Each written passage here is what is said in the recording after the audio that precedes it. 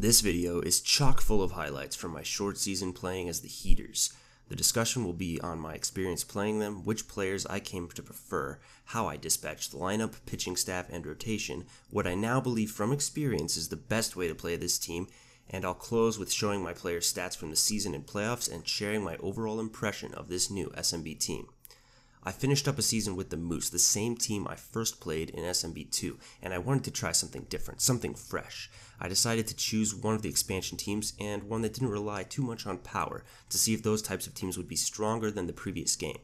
The Heaters pitching staff intrigued me. What better team to get a feel for how much impact a strong pitcher can have over a weak one? They basically only have plus plus plus and minus minus minus arms. So, I chose to jump into a season with them. I had progressed to 84 ego during my Moose season and began this one at that setting. I was playing at 99 at the end of SMB2, so I dropped 15 points. How many points have you all dropped? I'm curious. Comment. The first game with Elmo Slayer on the mound, I struggled, still getting the hang of the new pitching mechanics, and I found myself down 8 to 4 in the ninth inning. Then the bats came alive. The boys rallied back to put up five runs in the top of the ninth, capped off by a go ahead hit by pitch for Rays Rufo.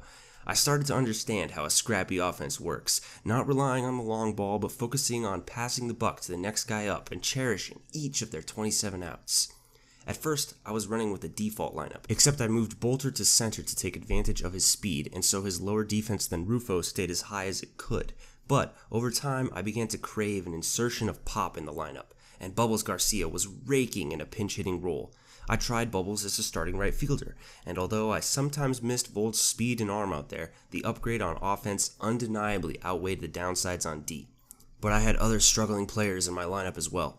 For whatever reason, Dion Base just could not get going for me at all, but I was hesitant to make a change. Busha Digman was the only viable choice, with her as a shortstop and Starr moving to second, but I was convinced that contact was much more important in this game, having had great success with Fred Bobbitt when playing the Moose.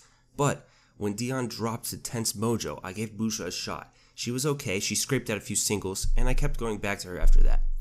I was perplexed by a lack of success from Dion, even more so because I saw decent success from Hank Hart, with very similar hitting stats. But, as happens with catchers, he needed rest eventually, and Kimmy Smoke stepped in to take her cuts. At first, I thought I was clever by pushing up Hart's rest in accordance with the speed of the opposing team. I first sat him against the very slow Nemesis, not many threats to steal against Kimmy's inferior arm. Then, later in the year, I noticed that Smoke's offensive output was fairly higher than Hart's. She began to start more often than not for me. At one point in the playoffs, I had Hart in a pinch hitting role, and he was 4 for 4 with two bombs. At the same time, Smoke was locked in and hitting 500. With a DH available, I'd be able to start them both, but otherwise, I'd have to have Lavo at first. He was my most reliable hitter all year. During the season, I had a power slump. For several games, I barely hit for extra bases. Even Stiffner and Lavo were scraping the ground with their swings. I found out two errors I was making at the plate. I was very often charging my swing too early and thus overcharging it, but also I was making way too much contact on the top part of the ball. I find that to get it up over the outfielder and even the wall, contact just below dead center on the ball is ideal. When I started being more cognizant of that, the power numbers went way up. If a player's power is very low, it's better to hit closer to dead center on the ball because they need a lower launch angle or they will just fly out. But otherwise, you want to go for that upward trajectory. By the time the playoffs began, I had finally decided on which players I want to pencil in for the crucial games. Rays Rufo was nuts for me all year. The guy hit over 500 and hit for surprising power as well. He was my go to as a leadoff bat, but I would swap in accordance with locked in statuses from certain other players.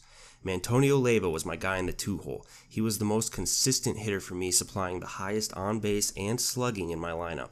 Having him second saw him at the plate a lot, which is where I needed him. It also provides good options in the later innings, where he can get that one last plate appearance in before being removed for a runner or defender. Theodore Stiffner was my three hole guy. He was great for me early on, but went through a rough patch at the end of the season. I wanted his power and speed up in the first inning and taking a lot of ABs. I like to slide higher power, but maybe some lower contact guys in the three hole. If it goes well, they can do serious damage. If not, the fourth hitter is there to clean up their mess. Bubbles Garcia was my cleanup man.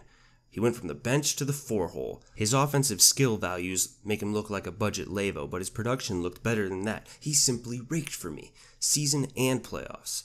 Slapper Glute belonged in the 5 spot for me. His hitting stats look a bit better than Rufo's, but his production was a bit worse for me. Maybe him being a bit slower contributed. Maybe something about his and Rufo's stances affected me. Hard to say, but thought I had enough sample size to prioritize Rufo's plate appearances over Slapper's. He was still very good.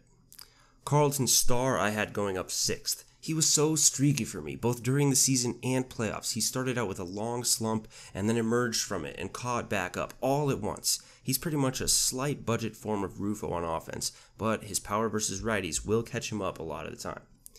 Kimmy Smoke was my seven hole bat.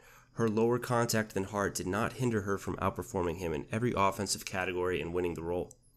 Busha Digman came up eighth for me. I didn't give her a lot of chances during the season, but when I finally committed to her in the playoffs, she gave me much better production than most of my lineup. I do think the lower contact is more of an issue versus high velocity, but either way, I have to say it's her over Dion.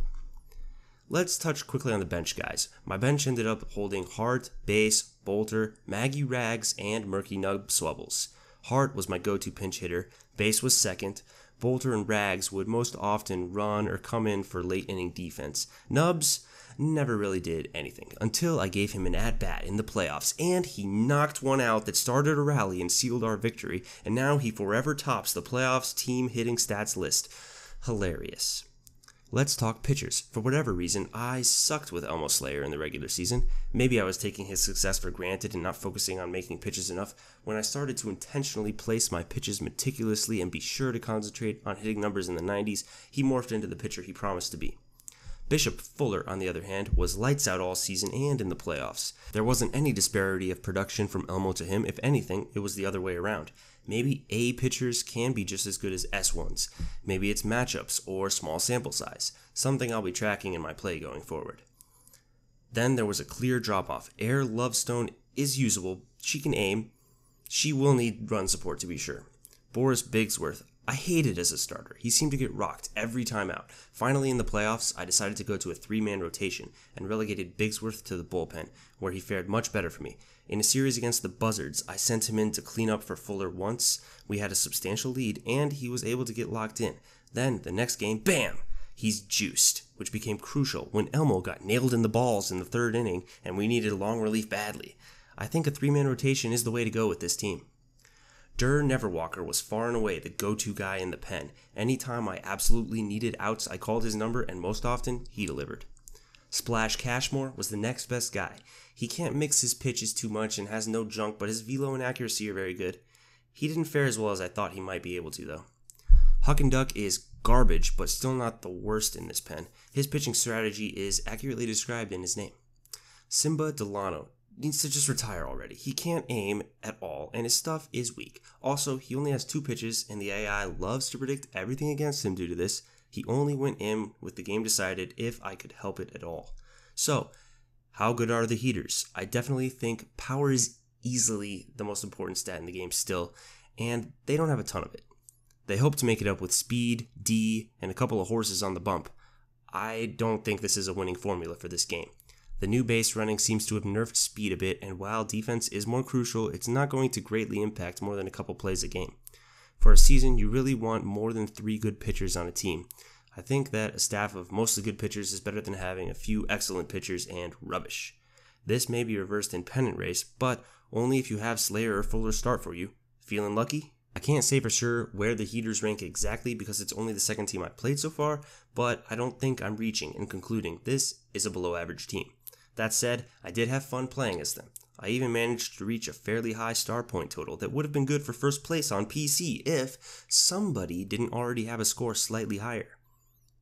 If you want more team deep dive videos like this, touch the like button. So far, I haven't had a video top 5 likes. It's really not good for my self esteem.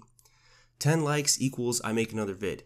I've already done a Moose season, so if you want to see a Moose video, mash like. If you'd rather see another team, mash like and write a comment telling me which. I will literally play a whole season just because you suggested, spending hours of my life that I'll never get back, and I don't even know you. Really, this is just irresponsible of me, but I've already committed. I can't take it back now. While you're at it, subscribe for more SMB3 content. That is, if I reach 10 likes. Thanks!